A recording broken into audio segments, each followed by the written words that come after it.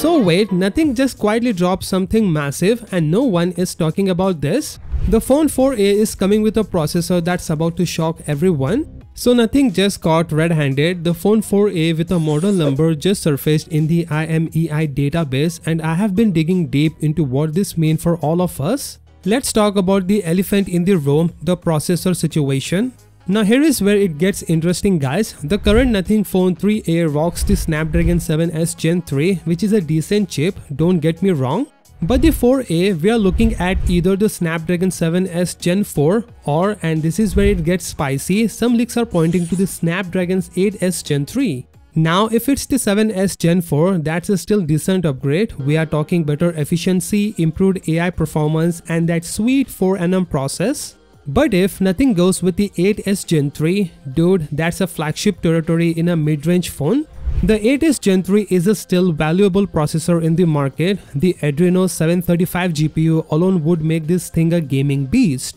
Now camera wise, this is where nothing said hold my beer. The phone 3a gave us a solid 50 megapixel main, 50 megapixel telephoto with 2x zoom and an 8 megapixel ultra wide. But the 4A, we are potentially looking at a triple 50 megapixel setup. That means a 50 megapixel main, 50 megapixel ultra wide and a 50 megapixel telephoto. But here is what has me most excited, Nothing OS 4.0 based on Android 16. The current 3A runs on Nothing OS 3.1 on Android 15 which is already clean and smooth. But OS 4, this is going to be the biggest software update yet.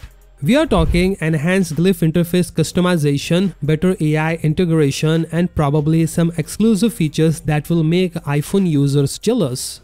The battery department is where things get interesting too. The phone 3a gave us a respectable 5000 mAh with a 50 watt charging. The 4a we are looking at a potential 5500 mAh battery with a 80 watt fast charging. That's a 500 mAh more juice and 30 watt fast charging. That means we are getting a better battery life and spending less time plugging to the wall. With that bigger battery and more efficient processor, all day battery life is basically guaranteed.